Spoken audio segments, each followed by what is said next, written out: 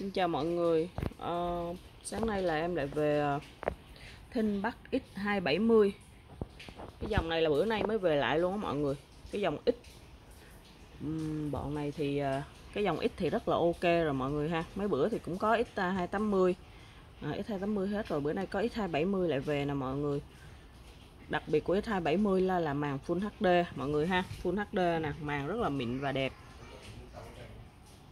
Ờ, màn hình 12.5 inch à, cái dòng này thì rất là tiện để mà mình ờ, sách tới lui rồi mọi người. À, cấu hình của nó nha X270 thì nó là nổi tiếng nó giống y như là X260 vậy á có nghĩa là nó nổi tiếng về cái độ bền và chắc nghĩa là người ta sách đi lại công trường công trình nói chung là sách tới lui rồi vậy mọi người. Nó vừa gọn có thể là mình bỏ vừa cái cốp xe cái cốp xe vừa mình cũng có thể bỏ vừa. Mình nói chung là gọi là cái sao hay cái dòng này mình gọi là cái nồi đồng cối đá mọi người rất là bền. À, đi tới đi lui rồi được gọn tiện mà giá thì rất là ok luôn. Giá nhẹ bán rất là ok. Con này là Lenovo X270 nha mọi người. Đây nè X270 um, co i5 6300U ha mọi người ha i5 thế hệ 6 RAM 8GB mặc dù nó i5 thế hệ 6 nhưng mà nó màn Full HD nha mọi người. Full HD màn rất là mịn và đẹp.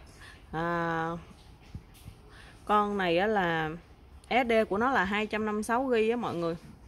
256GB thì một con à mà cấu hình thinh bắc rất là bền. Dòng X270 thì nó trên X20 X260 một đời. Nó cũng có ngõ sạc Ờ, nhưng mà nó còn có ngõ dắt TBC nữa là mọi người thấy không? Dắt TBC HDMI đầy đủ ngõ kết nối.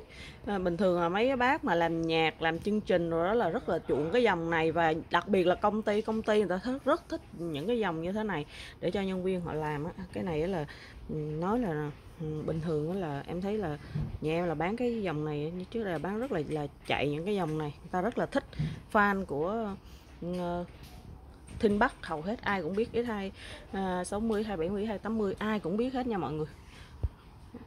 Đây à, cấu hình của nó em quay một lần, lần lại lần nữa cho mọi người xem ha.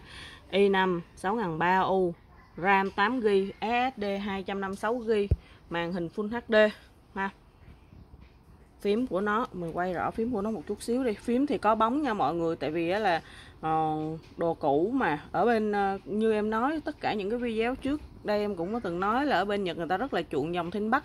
Ờ, công ty người ta xài rất là nhiều. Khi mình mua về thì mình cũng mua từ công ty về mà mọi người. Cho nên là những ví dụ như những cái ký tự ở bên Nhật người ta quen bấm á, thì người ta hay tì vào.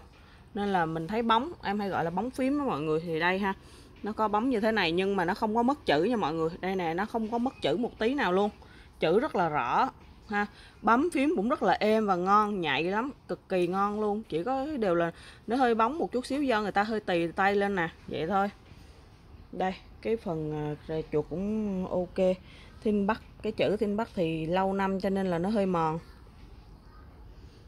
Ở ngoài, mặt ngoài. Mặt ngoài để em quay này mặt ngoài thì đây. Cái phần à, mờ hơi mờ. Cái phần à, đây con này là mã là một à, bốn bốn hai không nè. Cái phần ở đây là cái phần nó cũng phủ nhung á mọi người. Nó y chang như là ờ, uh, X260 vậy đó. Uh, nó phủ nhung. Nó thường thường phủ nhung. Ví dụ như nó cũng giống như những cái dòng đeo latitude đó mọi người. Phủ nhung như thế này là gọi là cầm để chống trượt tay rồi vậy á. Khi mà mình nhìn cái hướng mà không có gọi là sao ạ? Mình nhìn trực nhìn nghiêng thì không có thấy được nhiều. Tại vì là thường thường nó nó cũng màu đen mà nhưng mà khi màu đen nhìn kỹ hơn nhìn trực diện hơn nghiêng cái hướng khác thì đôi lúc là mình thấy tại cái lớp đó là cái lớp nhung á mọi người cũng giống như trên cái tấm vải nhung mình vuốt đầu này thì nó khác mà mình vuốt đầu kia thì nó khác á. Thì cái này nó cũng tương tự là như vậy màu đen nó dễ nó dễ ở chỗ là mình nhìn chung á là màu đen. Uhm, cũng ổn.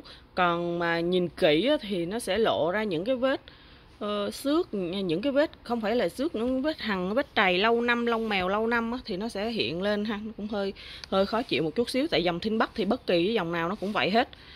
Uh, đây Lenovo mọi người còn không có bị trầy nặng không có bể nhiều.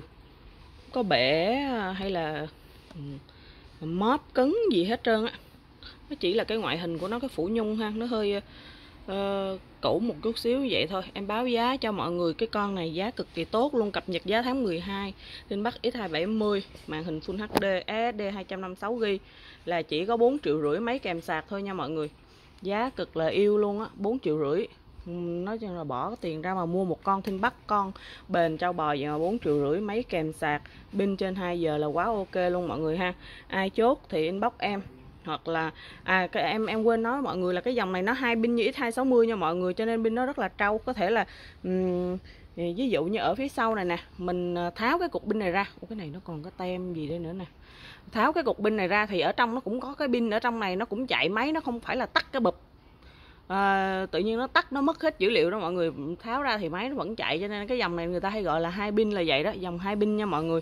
Giống y hệt ờ, uh, X260 thôi. Đó vậy. 4 triệu rưỡi. À, mọi người cọc 1 triệu em sẽ ship code cho mọi người. Rồi à, bao test cho mọi người 7 ngày. Cảm ơn mọi người đã xem video của em nha.